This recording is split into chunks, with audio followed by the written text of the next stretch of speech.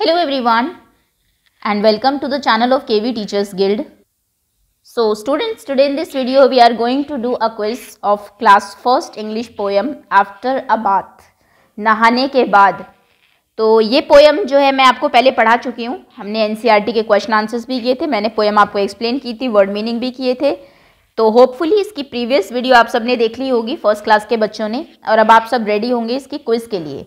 Test ले लेते हैं आपका एक, कि कितने अच्छे से आपने पोएम को समझा है, आपको याद है अभी तक, और एक रिवीजन भी हो जाएगी जल्दी से, और आपके साइकिल टेस्ट के लिए प्रिपरेशन भी हो जाएगी ओके उससे पहले अगर आप चैनल पर नए हैं तो देखिए वीडियो के नीचे, देखिए राइट साइड में रेड कलर से लिखा होगा सब्सक्राइब उस पर टैप कर दीजिए बेल आइकन को प्रेस कर लीजिए, जिससे कि नेक्स्ट टाइम कोई वीडियो अगर आपकी क्लास की आती है तो आप उसको मिस ना करें ओके चलिए, अब स्टार्ट करते हैं।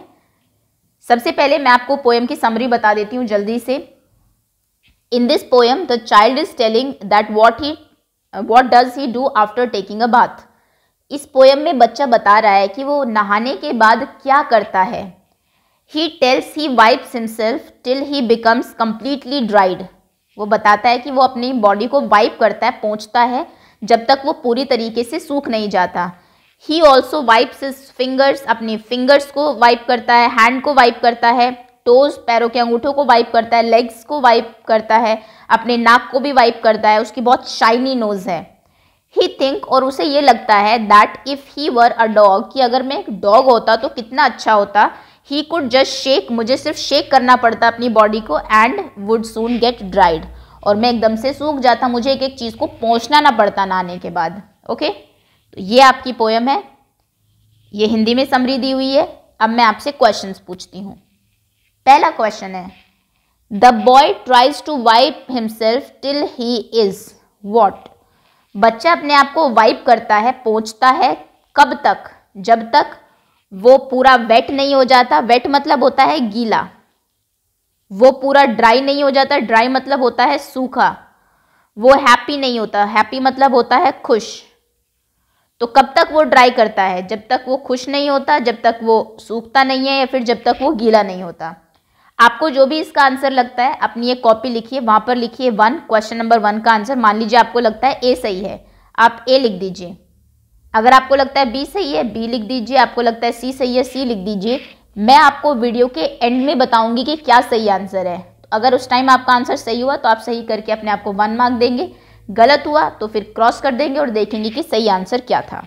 ठीक है? चलिए आंसर कर दिया होगा आपने। Next question is what do you use to dry yourself after a bath नहाने के बाद आप अपने आप को ड्राई करने के लिए क्या यूज़ करते हैं? आपके ऑप्शंस हैं सोप साबुन टूथपेस्ट या फिर टॉवल तोलिया। आफ्टर टेकिंग अ बाथ नहाने के बाद आप अपनी बॉडी को ड्राई करने के लिए क्या यूज़ करते हैं? सोप टूथपेस्ट या फिर टावल ओके आंसर कर दिया होगा आपने, आगे आते हैं.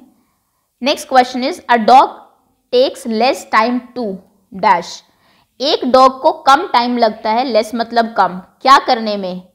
ड्राई करने में, सुखाने में क्राई करने में, रोने में या फ्राई करने में? A dog take less time to dry to cry या फिर टू फ्राई ओके आंसर कर दिया होगा आपने. अगला क्वेश्चन है choose the correct spelling correct spelling बताइए क्या है फिंगर्स की.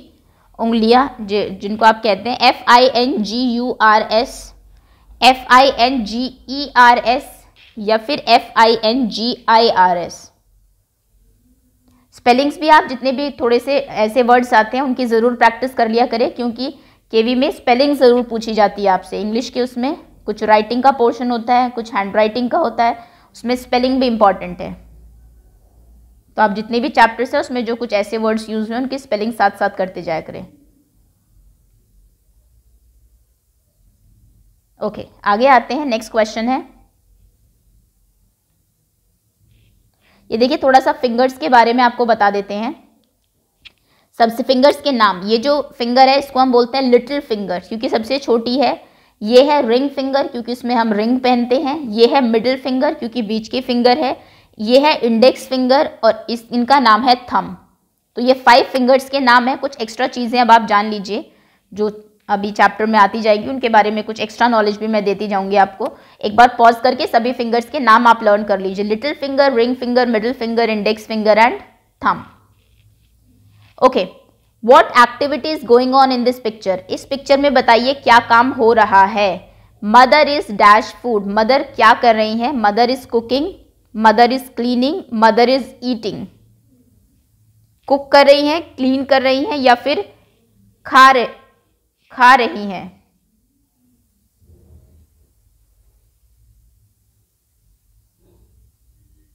ओके नेक्स्ट क्वेश्चन है पिक्चर देख के आपको क्लियर हो रहा होगा। अगला क्वेश्चन है विच स्टेटमेंट इज़ रॉन्ग इनमें से कौन सी स्टेटमेंट गलत है? The child has a shiny nose बच्चे की नोज़ जो है, वो बहुत शाइनी थी।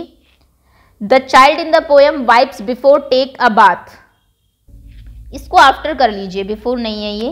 क्योंकि ये स्टेटमेंट सही है। Wipes after takes a bath बच्चा जो है, नहाने के बाद अपने आप को वाइप ऑफ़ करता है पहुँचता है। A dog take more time to dry एक डॉग को ज़्यादा टाइम लगता है ड्राई होने में। इनमें से कौन से स्टेटमेंट गलत है?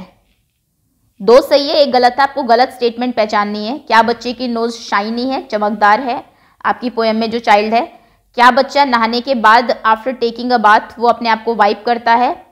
क्या डॉग ज़्यादा टाइम लेता है ड्राई होने में?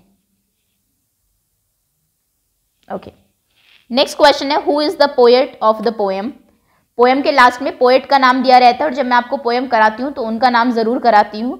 तो बताइए कि इस पोएम के पोएट का नाम क्या है? किन्होंने लिखे है पोएम आपके ऑप्शन हैं A Aileen Fisher B Ruskin Bond C Munshi Premchand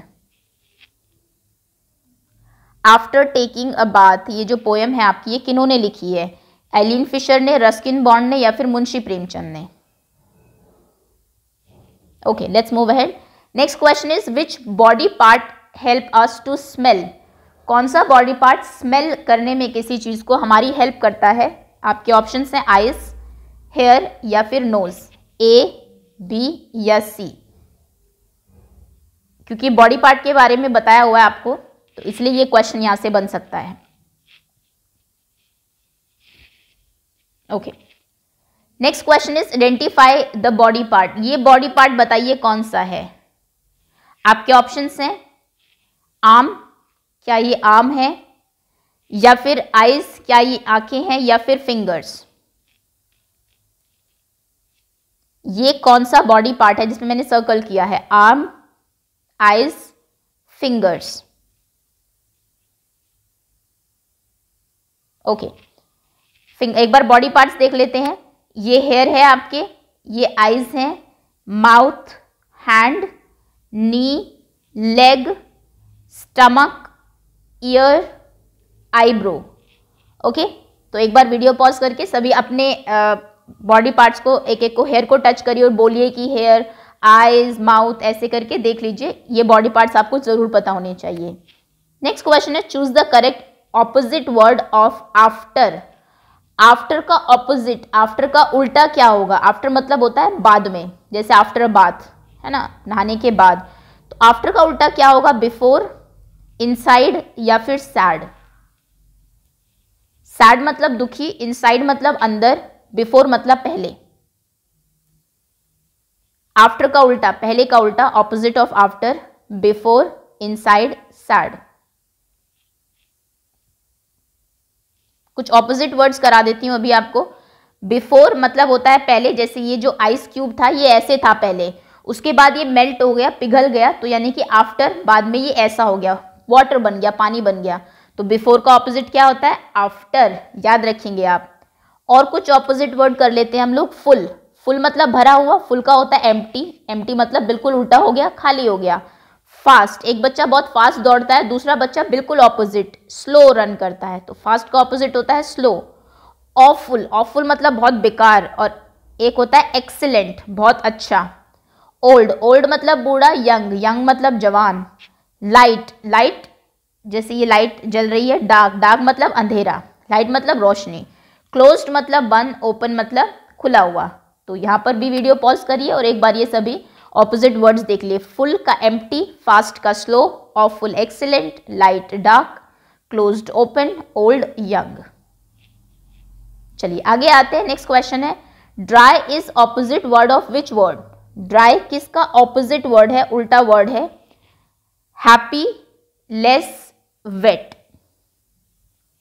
dry का ऑपोजिट क्या होगा? ड्राई मतलब होता है सूखा. सूखे का बिल्कुल ऑपोजिट हैप्पी खुश लेस हैप्पी मतलब होता है खुश।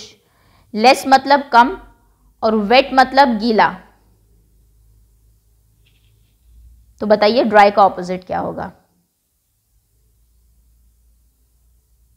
देखिए, ये है ड्राई बिल्कुल सूखा हुआ क्योंकि इसके पास अम्ब्रेला है और अगर अम्ब्रेला नहीं है तो ये इसका बिल्कुल ऑपोजिट होगा, यानी कि wet next is spoon is related to which thing spoon किससे रिलेटेड है?